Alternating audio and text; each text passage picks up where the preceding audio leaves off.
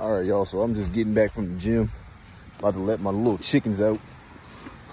We got Miss Blue Ella just doing what the fuck ever she want to do. I think a week after vacation, I seen a damn fox about like 20 yards away from the damn coop just sitting there. I was wondering why they was squawking. It was like 6.30 in the morning. Seen him, set up the uh, dupe traps again. Didn't catch him. A week goes by. I pull in my driveway. My chickens aren't running around, which they're normally doing every day when I come home from work. Didn't really pay it no mind. Walked down to the coop to let them out. It's a big ass hawk in the coop on top of one of my new hens that was just born not too long ago, eating the fuck out of. Ate the head right off of it. So we down one, y'all. We down one. Survivor.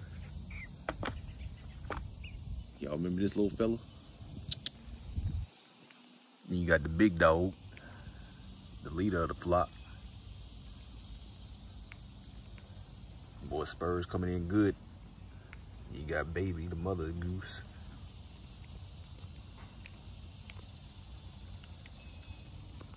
More pretty, ain't it?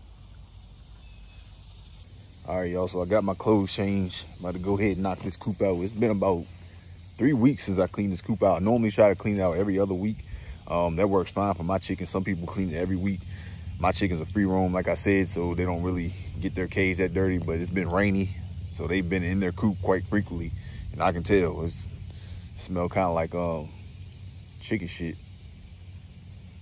But now, all jokes aside, before we get the rest of this video started, let's take a take a look at God's work. Look at that. The colors. Beautiful. Well, let's clean some dookie. A lot of y'all say y'all want chicken, so I'm gonna show y'all the inside of the coop so I can let y'all see what y'all gonna be doing in y'all future. All right, so it's really not that bad for it to be three weeks. They all roost on this at nighttime. So this is literally like when they do shit, this is where they shit at. So this is like all the shit that's inside the coop.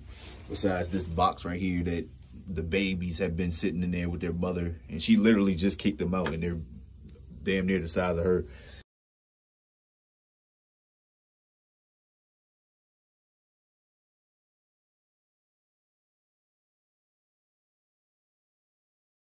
All right, as y'all can see, it's a lot, lot better in here. It smells a whole lot better. Um, one of the things I like to do to make sure the bugs stay off my chickens, this shit